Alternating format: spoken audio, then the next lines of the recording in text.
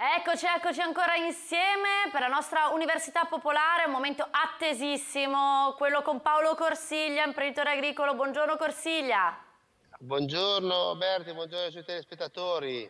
Allora, oggi la vedo circondato da uh, olivi, quindi ci spiegherà come ci si prende cura, come si potano, ma anche come, anzi, qual è la messa a dimora, giusto?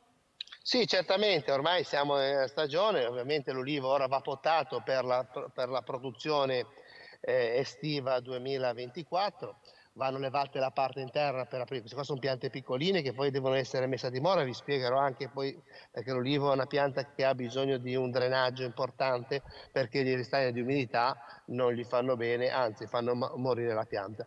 Vanno potate, adesso non abbiamo forbici, ma vanno levate la parte interna per aprirlo, per dare ossigeno anche all'apparato vegetativo e di conseguenza dobbiamo pensare che l'olivo è, nostra, è il nostro oro giallo della nostra Liguria, tutti quelli che ce lo invidiano, tutta la, la, la produzione che è di altissima qualità, dalla Tagiasca di Imperia arrivare alla Lavagnina del nostro Tiguglio e ovviamente stessa cultivar con due nomi diversi ma per, praticamente eh, caratteristiche organolettiche uguali.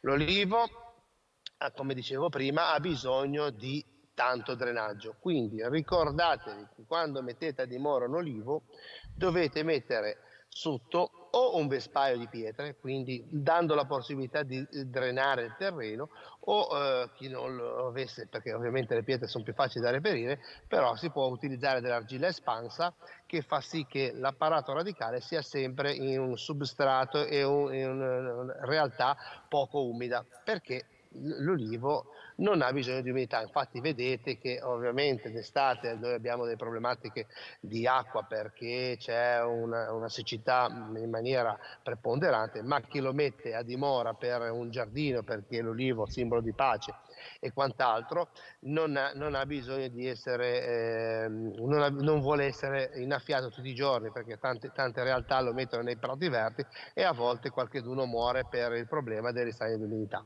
L'olivo è una pianta che in produzione viene inserita anche un impollinatore perché l'impollinatore dà l'opportunità maggiore di poter eh, fecondare le, eh, i fiori, pensate che l'1% dei fiori sarebbe un'altissima allegagione di, di frutti, quindi l'olivo fa tantissimi fiori e tantissimi cadono e la cascola dei fiori viene fatta eh, appena, appena eh, c'è stata l'allegagione.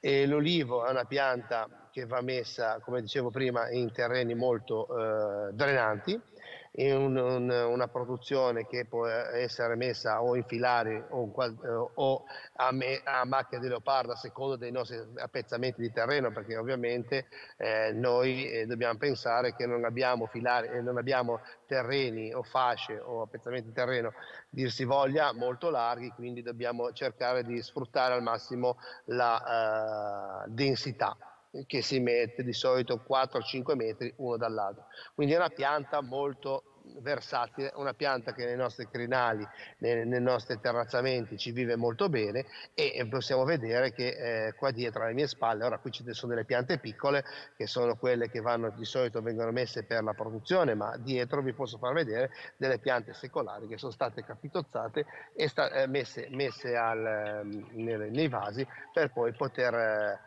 Eh, allestire e abbellire i nostri terreni. Una pianta molto semplice, una, pia una pianta che eh, sta, sta, molto facile come essere curata, ovviamente l'unico problema è un po' il freddo, ma ormai freddo non ne viene più perché anche oggi saremo a 15 gradi qua da noi in Fontana Insomma, speriamo Corsiglia, speriamo.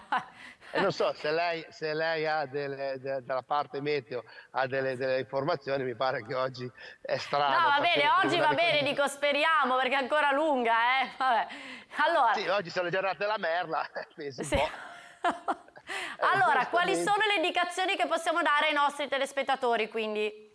Allora, l'olivo dico, proprio simbolo della pace, quindi dovete metterlo nei vostri giardini perché è una pianta bellissima, anche vicina a casa, non, per, non, non viene troppo invadente, va potato tutti gli anni, chi dice che lo pota un anno sì, no, l'olivo va potato tutti gli anni mi raccomando, la parte più importante è il drenaggio, perché deve esserci sotto all'apparato radicale, sempre asciutto. La pianta ha bisogno di essere bagnata, ma poi deve asciugare. Quindi il vespaio di pietra, mettete sotto una decina di centimetri di pietra, che così se ci sarà dell'acqua va a scendere in, questa, in questo vespaio di pietre, o se no utilizzate l'argilla. Molto semplice, il terreno deve essere deve essere messo sopra la parte adesso su questo pane di terra sul, sul nostro vaso, come vi faccio vedere, va alzato tanto così perché essendo poi il terreno attorno un terreno molto morbido eh, va a, a, scendere. Ricordatevi di fare una concimazione mh, fra un mese, quindi 20 giorni, un mese, mm, con stallatico, utilizzate anche lì, mi raccomando, prodotto di qualità, non prendete quella terra che sembra che c'è scritto stallatico ma è un terriccio, ma non va bene. Utilizzate un, un, un prodotto professionale, quindi uno stallatico pellettato.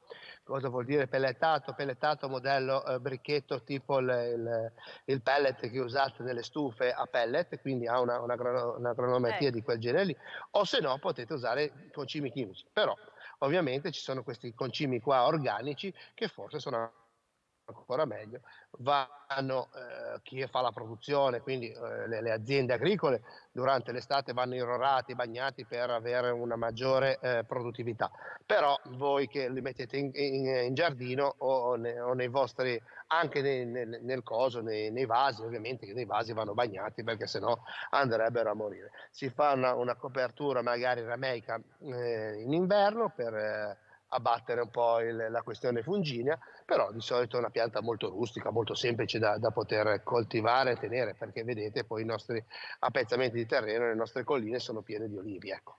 E la potatura? La potatura va fatta adesso, va quindi, adesso io non ho forbici qua, eh, va levato tutta la parte interna per poterlo aprire, uh-huh. eh, ovviamente eh, a secondo delle, delle, delle, varie tipi di produzione, di chi vuole fare la, la produzione adesso è in, in, voga il vaso policonico, però chi invece lo tiene come, come da, da, bellezza, da, da, ornamento, va levato la parte interna perché ovviamente quando adesso andrà a sviluppare in primavera da, dato eh, la stagione che ormai mi pare imminente, facevamo una ricognizione qua con Adriano prima e abbiamo nel prato pieno di, di margherite fiorite, eh, a gennaio non ci sono mai state. Ecco, quindi d'ora in avanti però non anticipiamo troppo la concimazione perché il problema è che se ci fosse una gelata, una gelata primaverile potrebbe danneggiare la, l'apparato eh, vegetativo nuovo.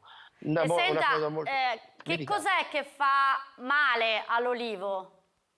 L'umidità per, in primis. il problema grosso dell'olivo è che quando vengono messi nei, tipo nei prati verdi, nei, delle, delle case, in mezzo ai cosi, dove ci sono i, i prati che devono essere errati un giorno sì e un giorno no, uh-huh. di solito anche in piena estate quello è un problema. Infatti ogni tanto qualcuno nei prati delle, delle, ville può morire per la questione della, della, dell'umidità. Ecco. Una pianta che ha tanto bisogno di, di, di, di secco. Ovviamente se andiamo in estate, in piena estate, quando, eh, quando viene 40-50 gradi, che, che, deve produrre ha bisogno di un, un, un, una bagnatura di emergenza. Ecco, questo sicuramente. Bene, bene, grazie a Paolo Corsiglia. Beh. Come sempre ringraziamo Adriano, ogni settimana sempre più bravo. Sì, eh, ormai è, è avvezzo. Glielo rubiamo Corsiglia. Eh va bene, adesso ve lo, ve lo presto volentieri. Ci mancherebbe altro, ve lo mando. Grazie, grazie a, mille. A lei e ai suoi telespettatori, buona giornata. Buona giornata, a presto.